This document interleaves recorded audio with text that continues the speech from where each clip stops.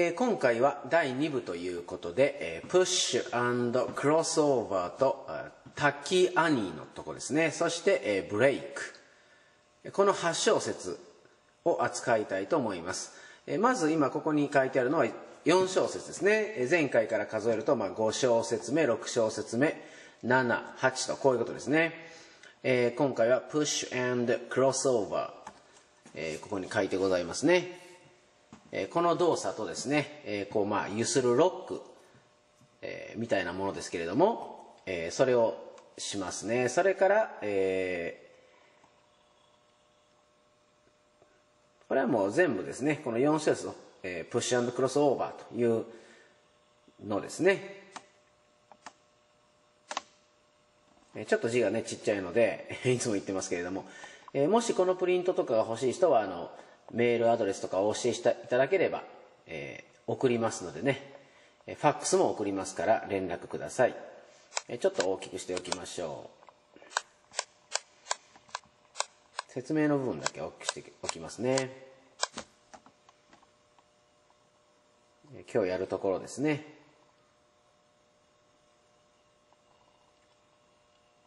ここからですね。まあこれも一種のスタンプ、えーこの前ちょっと言いましたね、えースタンプというのは切手のことですが、まあ、ハンコ。で切手を貼るようにハンコをボンと押す。このスタンプハンコのことも言いますね。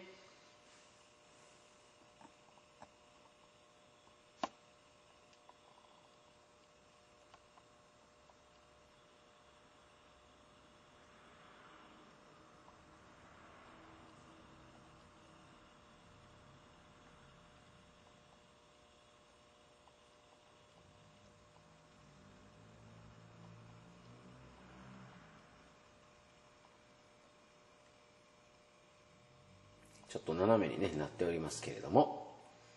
では次のプリントに移りますね。これも今日やるところの後半ですね、同じく第2部の、プッシュクロスオーバーこれ先ほど見ました。そしてタッキーアニーと、まあ、ブレイクということですね、えここからが9小節目から、えー10、11小節目ですね。これがまあ、タッキアニというステップですね。この一体タッキアニというのもですね、これはどういうことかと言いますとですね、まあ大体人の名前じゃないかということは想像できると思いますけれども、えーなかなかショッキングかもしれませんが、これはストリッパーの名前だと言われているんですね。えーストリッパーというとまあ、こう、またあの、えー僕のようなエロ親父が大好きな 言葉ですけれども、えまあ、ヌードダンサーといいますかですね、えーそういう、まあ、女性のダンサーのですね、えー振り付けといいますかその、まあ、服を脱ぎながらとかですねそういう時にその衣装を脱ぎながらする時にこう、まあ、踊るわけですよね。そういうところの、まあ、ステップのパターンがですねこういう、まあ、スイングダンスジャズダンス、えーこういうものに大きい影響を与えているのでそういうところからですね、えーまあ、その女性ダンサーの名前だというふうに言われておりますね。これについてはまた第3回目でですね、ちょっとまあそういう由来も含めて、えー、もともとこの、えーレッスンはですね、そういう、えー後でもしますけれども、このシムシャムとは何でやもというね、えーことをやっておりますのでですね、そういうところで、今日は第2回目ですけども、第3回目の時にね、この滝屋にもちょっと説明したいと思います。えーまあ、これですね、タッキアニまたはタックアニそれから、えーずっと参りまして、12小節目は前回の時に、えーしました、えーフールブレイクというのと一緒の動作をするので、えーまあ、ジタバーグストロールとかですね、えーそういうのに構成が似てなくもないですね。これもまたこの今日の終わりにですね、えー詳しくご説明申し上げたいと思います。では足型のとこだけいつものようにちょっと拡大しておきますので、お役立てください。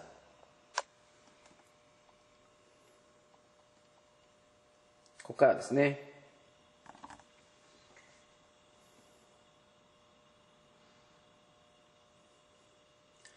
このタッキアニというのもですね、まあ、2通りないしは3通りぐらいの代表的な踊り方があるので、えそれもご紹介します。ちなみにですね今日のオープニングで、え僕があ、まあ、苦労して踊っておりますけれども、えなかなか踊るのは大変です、えこの時にしているタッキアニはですねちょっと独特な踊り方で、え私が教えてもらっている先生はえー、この前ね、こういうおしゃれな踊り方もあるというふうにおっしゃってましたけども、そちらの方でですね、えー、ちょっとやってありますが、えー、解説はですね、一般的な踊り方の方で、えまあ、非常に単純明快な方でやっておりますので、ご了承ください。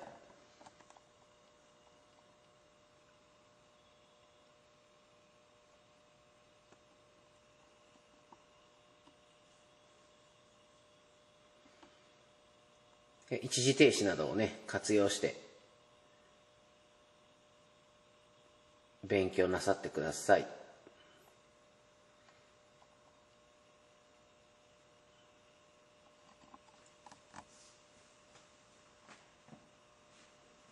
えー、このですね、え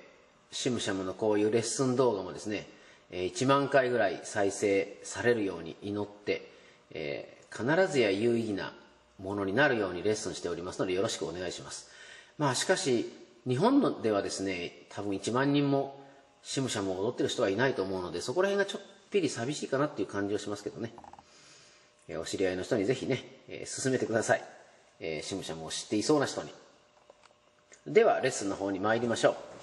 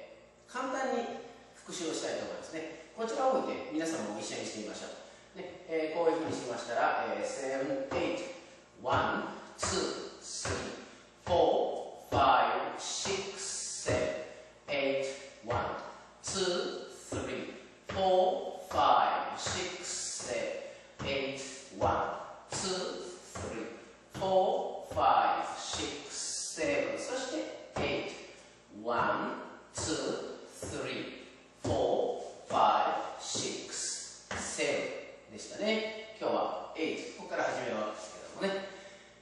えー、まあ、今見て分かりますようにですね、えー、こういうのはタップダンス的なステップですね。なので今日のオープニングではですね、えー、この前もちょっとレッスンの中で言いましたけれども、えー、8、1、2、3、4、5、6、7、8、1、2、3、4、5、6、7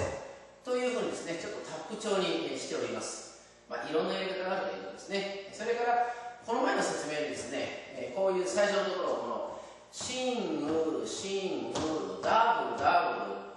ブル、えー、シングル、シングル、ダブル、ダブルと言いましたけども、まあ、精密に言うならですね、このダブル、ダブルというと、えー、ダブルが2回あるような、ダブルがまたダブルような感じになりますけど、そうではなくて正確に言うとこうですね、シングル、シングル、ダブル、シングルシングルダブル。こういうことですね。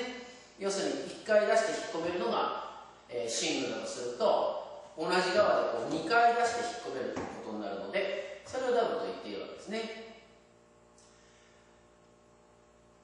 えー、では本日の足型を説明しましょう、えー、正面の方が分かりやすいと思うのでとりあえず正面からしますね、え、カメラは今少し斜めで正面をこっちになるからね、えー、では先ほどのようにこのショーティー、え、上司じゃなくてアップルジャックと同じような、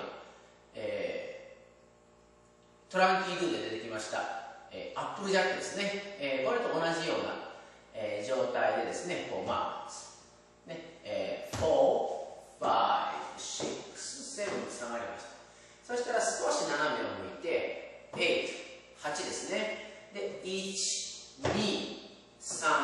4。ちなみにこの、この動作はですね、えー、スタンプという、スタンプはスタンプをボンと押すということですね。前にストンプというのが出てきました。ストンプ、をですね、おというのと、今日はスタンプですから、えという、まあ、あですね、スタンプというのが出てきますけれども、一つの区別は、ストンプの時は体重を乗せない。同じようなアクションで乗せない。そして乗せる場合はスタンプという区別もありますが、まあ、体重を乗せてパンと強くステップするのがスタンプだと。こう覚えてくださるんですね。ストンプも似たような感じで、まあ、叩くわけですけどね。えー、でもまあ、あまり強く乗せるというよりは、こういうふうに前後に揺する感じで、8、1、2、3、4と。これがまあ、プッシュとかプッシュビートと呼ばれることですね。4。そしたら5ですね。まあ、4を強く4としてもいいんですけども、えー、5キックしますねキックもあんまり高く上げるのではなくてこうやったらまあ膝を落としてつま先をポンとこういう感じですね。あんまり上に上げるのではなくてね、えー、チアガールのようにチアリーダーのように上げるのではなくて、ね、5そして6これがクロスオーバーですね。クロスします。6、えー、まあ蹴ったらちょっと交差するように6で7はそのまま下がりますね。で左の方に回転しつつ78ですね。で同じことを繰り返すとねこれが8ですね今8123と、えー、2回揺すりますね前後、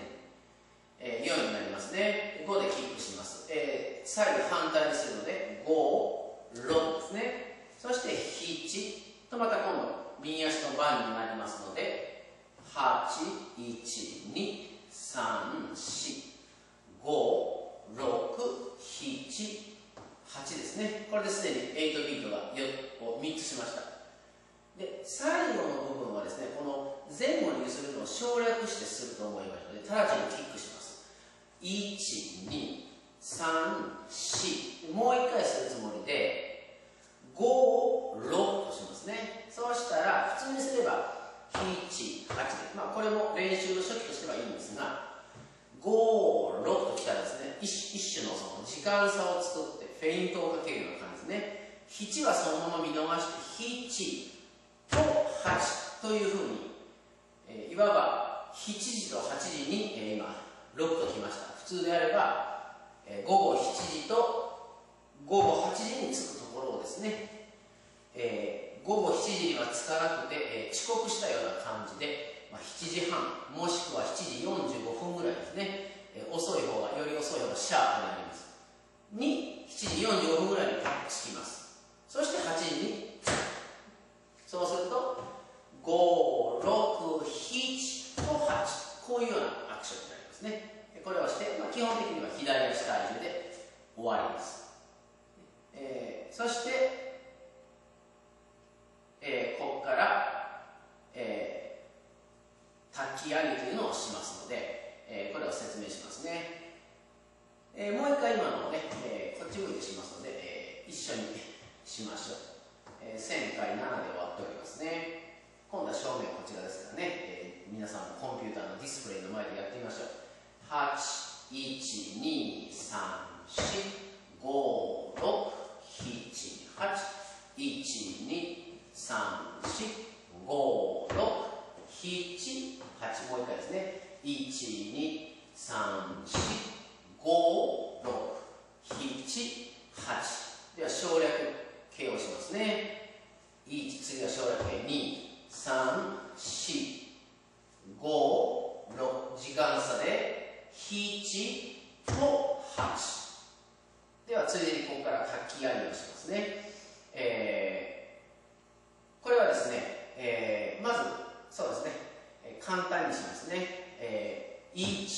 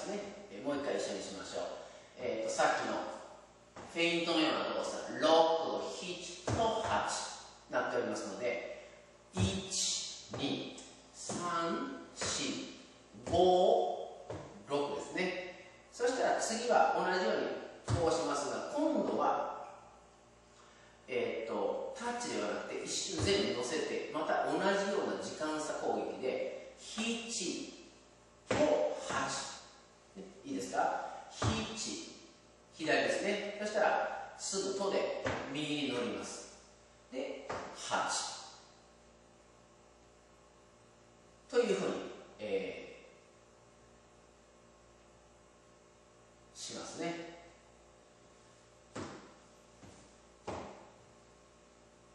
大丈夫ですか？では前に向かってしますね。えー、っとですね、えー、この、え、プッシュビートクロスオーバーがえーと、終わりましたですね、えー、67と8で左足体重で終わっておりますね。そしたら1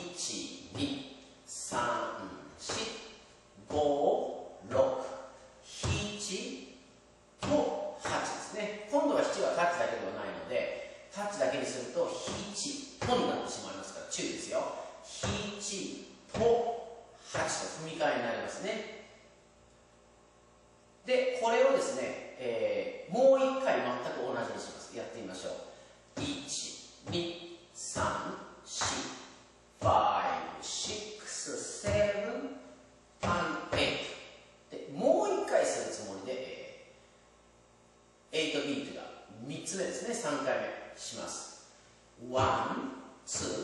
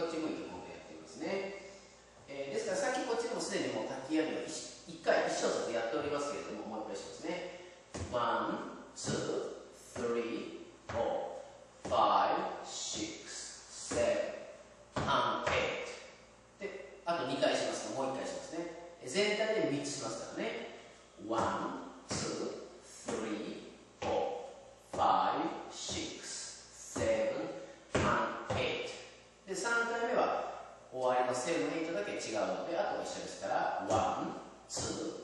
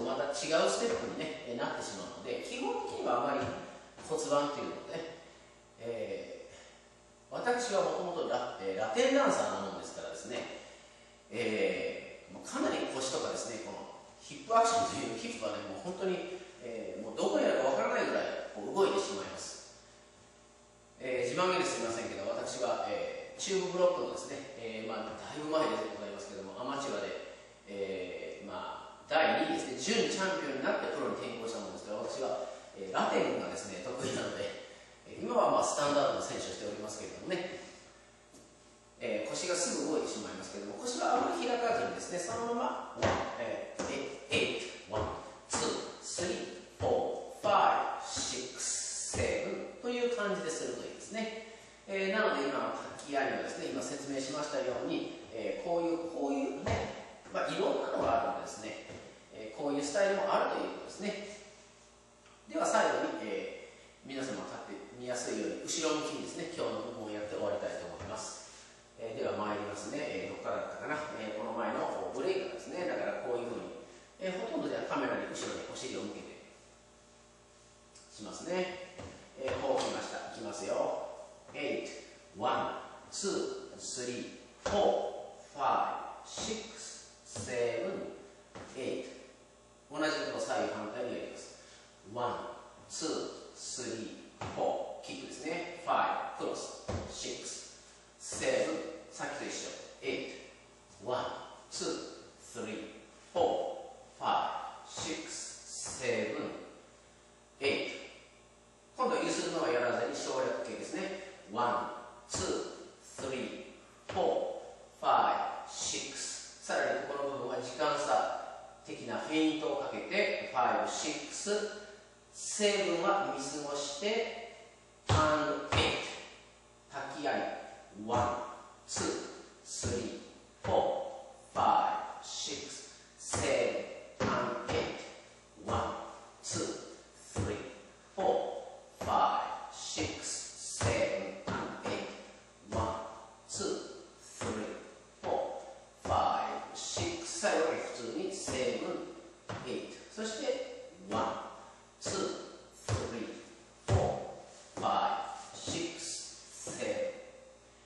8は次からですねこうなりますね滝屋にはさっきも説明しましたように、えー、1 2 3 4 5このパターンのようにですね、えー、次回説明したいと思いますが、えーまあ、滝屋にというのは、えーまあ、ストリームダンサーの、ね、名前から来ております、えーまあ、そういう人たちが結局、えー、踊ったね。そういう時のそのまあ足型のパターンというのがそのダンスの原型になっているわけですね、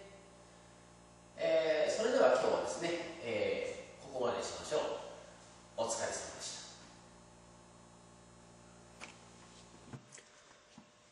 えー、さてですね、えー、ジタバーグストロールとかですね、えー、トランキードゥなどでもしましたけれども、えー、このシムシャムというのは一体何かと、えー、いうことをですね、えー、解説したいと思います。えー、教えて調査ということで、Would you tell me what the shimsham is? えー、と言ってもここには書いてありませんが、まあ、シムシャムというのはですね、やはりダンスホールの名前だと言われておりますね。えー、そこでまあ主に踊られたパターンなんですけども、ことはそう単純明快ではなくてですね、えー、まあそのシムシャムの歴史とかそういうものを見たいと思います。もともとはタップダンス用の特別なルーティンルーティンっていうのはまあ振り付けということですねで、えー、レオナルド・リードという人とウィリー・ブライアントさんが作ったと言われております1920年代後半ですからやはり、えー、まあリンディ・ホップが発生したあたりとかですねそこら辺ののジャズの、まあ、第一初期のですね第一期の非常にこう盛り上がって流星期のですねえー、あたりですね、30年代にかけて、えー、劇場などで、ここ重要ですね、劇場などで終わり際にダンサーや音楽家、歌手などが一斉に集まって同じ一つのルーティンで踊ったり、まあ、演奏したりですね、そういう風にされたものがシムシャムということで、またはシムシャム、シミですね。このシミというのは何かというとですね、またレッスンの中でご紹介しますけれども、えー、肩を揺するアクションがですね、こういろいろ、まあいろんな種類のダンスに取り入れられておりますが、えー、まあ特にそのダンサーがですね、えー、このシムシャムというパターンを、この踊った時に肩をゆすって一緒にですね、肩をゆすって踊ったので、そういう動作を付け加えて踊ったので、シムシャムシミとこういうふうに言われてるんですね。シムシャムというのはご存知のように、まあ、こういうふうにですね、この長い、かなり長い、えー、ほぼ40小節ですね。えー、まあ種類によるんですけれどもね、えー、32小節であったり、えー、40小節であったりですね、いろいろあるんですけれども、その中でもこの、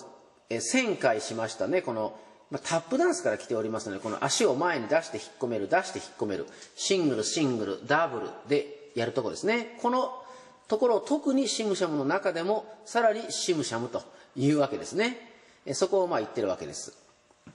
ここ重要ですからね、あの、期末テストに出ますから、よく覚えてください。まあ、とにかくですね、こう想像できますよね。えー、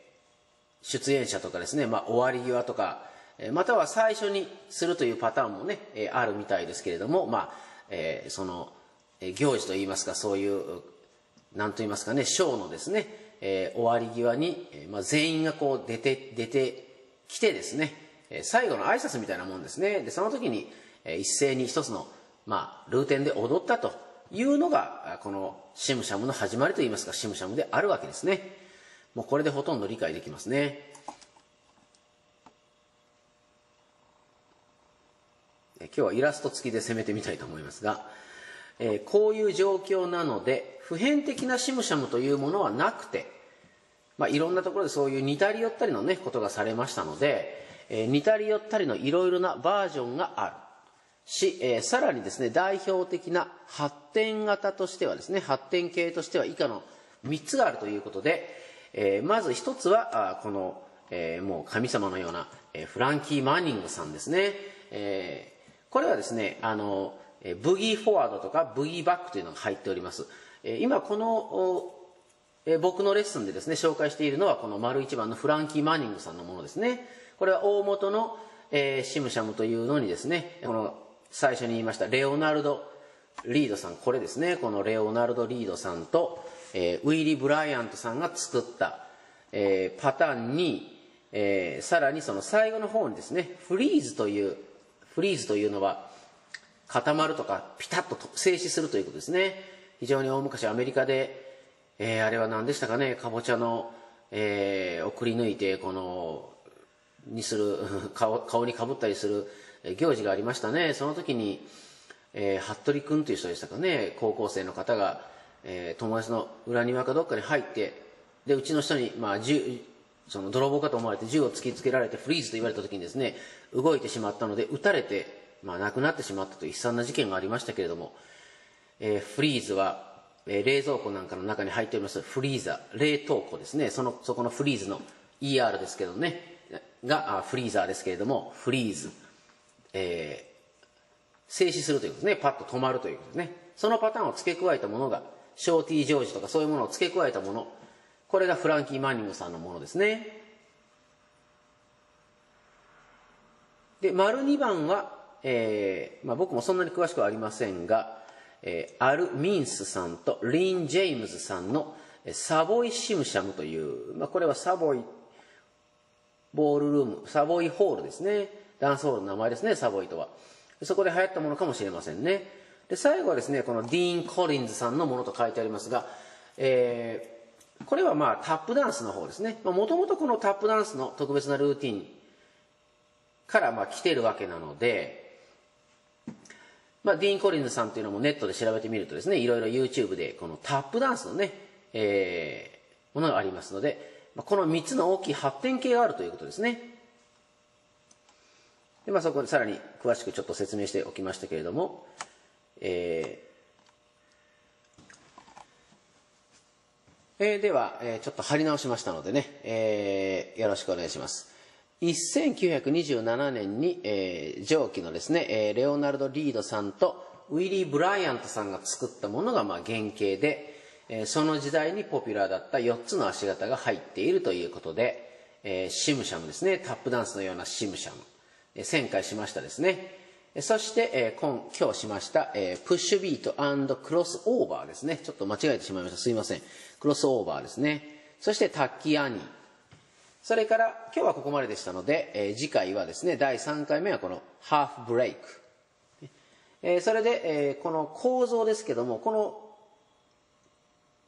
今回この僕のレッスンで扱っているのは、え、フランキー・マーニングさんのタイプのものですね、えー、そしてディーン・コリンズさんのものもさっき先ほどあのタップダンスだと言いましたけれども、えー、これのその